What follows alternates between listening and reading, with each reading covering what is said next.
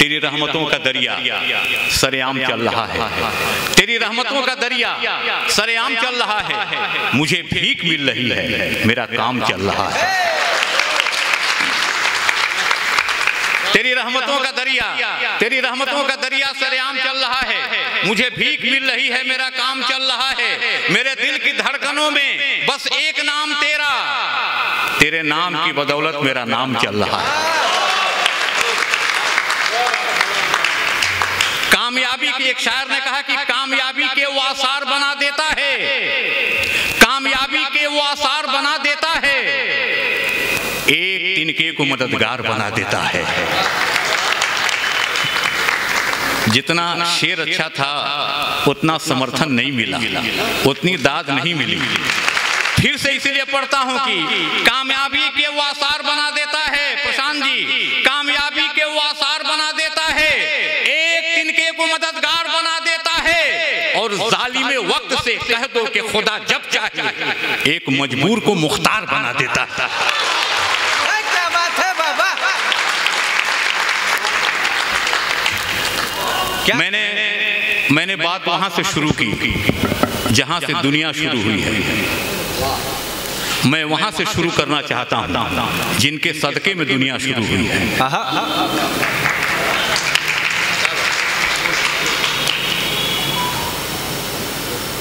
इंसान की क्या मजाल जो कागज़ पे लिख सके? एक लाख चौ मैंने कहा कि एक लाख चौबीस हज़ार कम बेशम्बिया कराम जो इस धरती पे आए, उसमें अव्वल और आखिर वसल्लम हुए, जिनकी शान में जो अशार पढ़ते हैं, वे नाते पाक के अशार होते हैं। हमने कहा कि इंसान की क्या मजाल जो कागज़ पे लिख सके? माना के हर हर्फ मोहब्बत का फूल है, और जिबरील के परों की सदा कह रही है सैफ कि अल्लाह का कलाम ही नाते रसूल है। वाह। क्या बात है? वाह वाह मैं चाहता हूँ कि नाते पाक से मुशायरे का आगाज़ दमदार साहब, हम चाहते हैं कि आप ही आप ही नाते पाक पेश कर दें।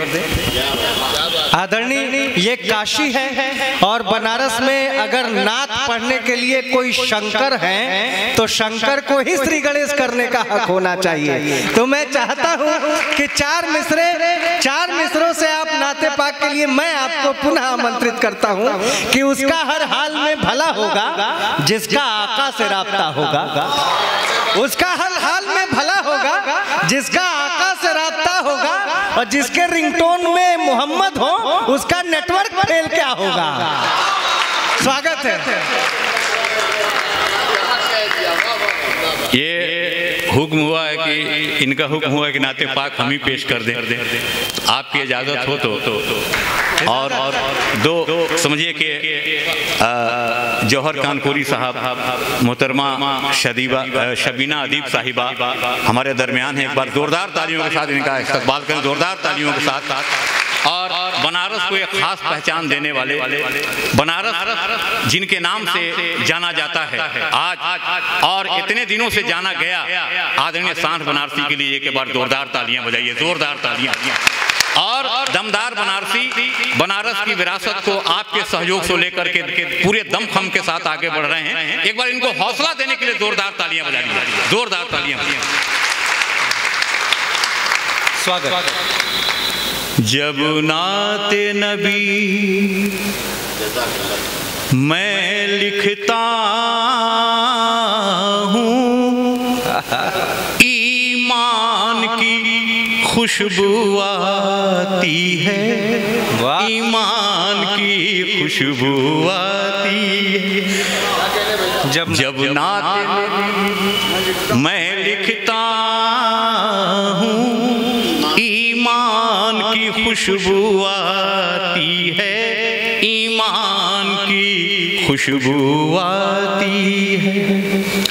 जब नाते नबी में आ, शेर यदि अच्छा हो हालाँकि नात का शेर है ना अच्छा हो ऐसा हो ही नहीं सकता। नात का एक एक लफ्ज लोग चूम लेते हैं। अकीदत से मोहब्बत से। आप अपनी दुआओं से नवाजेंगे। कि जब नाते नबी मैं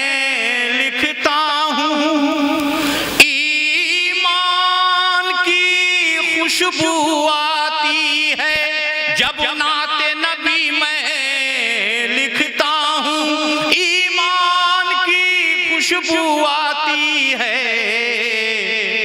सरकार की बातें करता हूँ कुरान की खुशबू आती है कुरान की। क्या बात है वाह। सरकार की बातें एक शेर और एक हुस्न मतला में एक शेर और सुन लीजिए क्योंकि थोड़ा मुख्तसर भी करना है। जब अरशे बरी पर मिराज के हसीन मंजर को जहन में रखेंगे और हुस्न मतला समाप्त करेंगे। कि जब अरशे बरी के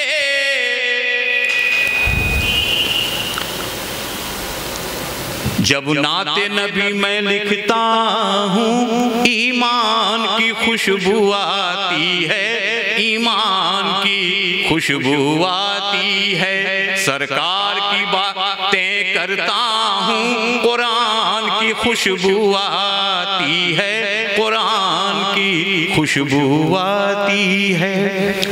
हम चाहते हैं कि इसे और मुख्तसर कर दिया जाए। अब यहाँ से मुशायरे का आगाज़ हम करना चाहते हैं, क्योंकि वक्त भी कम है और शोरा की आप जो फेरिस देख रहे हैं, वो फेरिस भी तवील है।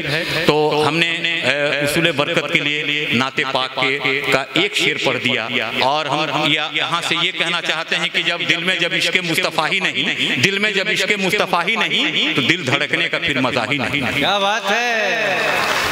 और एक शेर तो समझ लीजिए कि दिल में जब इसके मुस्तफ़ा ही नहीं दिल में जब सुनिए कि दिल में जब इसके मुस्तफ़ा ही नहीं तो दिल धड़कने का फिर मज़ा ही नहीं। और जो भी आया मेरे हुजूर के पास जो भी आया मेरे हुजूर के पास ऐसा बैठा कि फिर उठा ही नहीं। वाह।